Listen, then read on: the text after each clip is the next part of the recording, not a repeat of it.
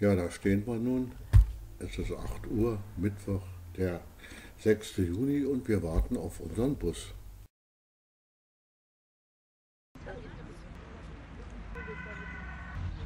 Na, da kommt er ja auch schon um die Ecke jetzt aus, dann können wir auch gleich losfahren.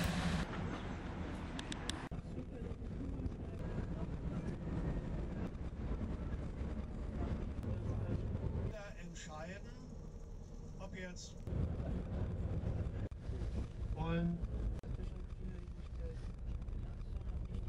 Wir haben unser erstes Ziel erreicht, die F60, eine Abraumförderbrücke, die die größte der Welt ist.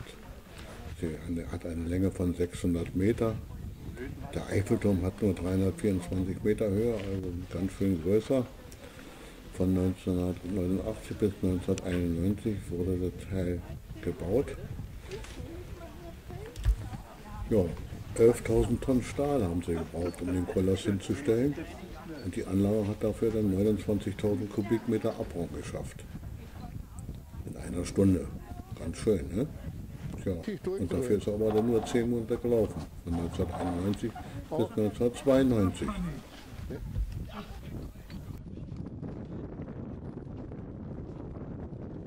Unsere Heidi Ramel hat für Frühstück gesorgt.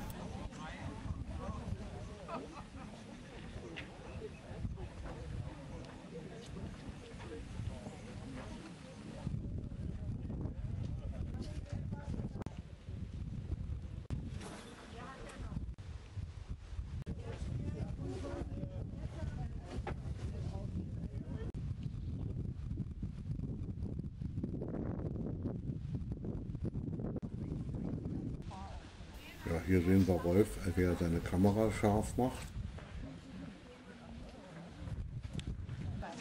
Ja, ja. Nee.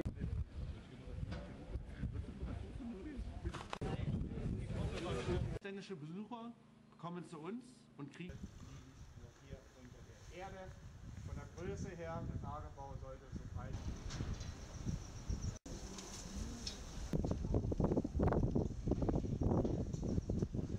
Hier sind wir jetzt 80 Meter über dem Grund und hat einen fantastischen Ausblick über das Erholungsgebiet und den Bergheider See. in dieses riesige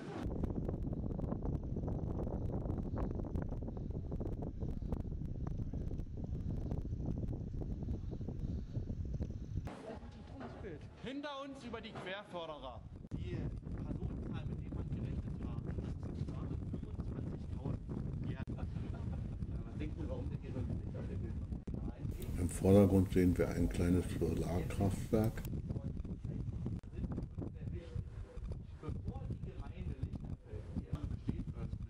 Unser Führer bringt uns die Anlage näher.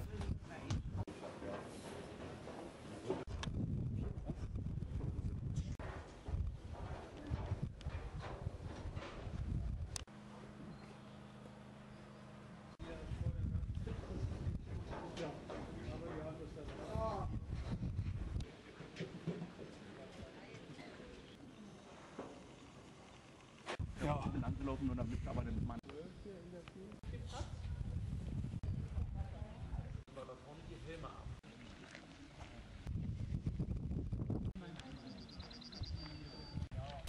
Wir müssen weiter. Auf uns wartet der Spargelhof in Saalgast, wo wir Mittagessen wollen. Dort soll Spargel satt gehen. Die Spargel nicht so sehr mögen, so wie das Kotelett. Viel Zeit zum Besichtigen blieb nicht. Einfach Zeitknappheit. Ja, der Hof ist 15 Hektar groß. Zwei Hektar davon werden mit Erdbeeren bepflanzt. Und im Sommer werden bis zu 200 Arbeitskräfte dort bespannt. Aber zum Teil zum Besichtigen hatten wir eben nicht mehr. Von dort ging es zum Seehotel in Großgreschen, Kaffee trinken und Kuchen futtern. Ja, und das Fälschermuseum besuchen. Leider, das war so dunkel, also Filmaufnahmen waren da nicht möglich. Aber ein Besuch lohnt sich auf jeden Fall.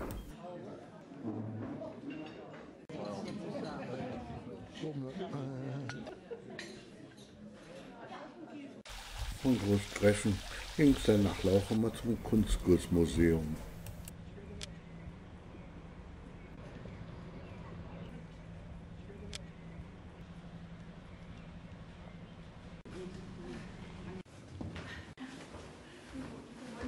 Im Schaudepot konnten wir Modelle aus Gips und Metall besichtigen, jede Menge Porträtköpfe und Figuren waren zu sehen, war ein bisschen eng zum Film, auch ein bisschen dunkel, aber das lässt sich ja doch allerhand erkennen.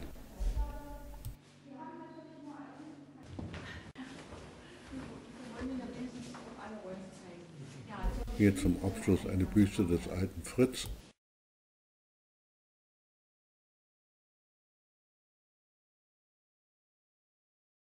Ja, das war's dann auch schön. Jetzt machten wir uns wieder auf den Weg nach Beutersdorf und verabschieden uns von euch. Tschüss.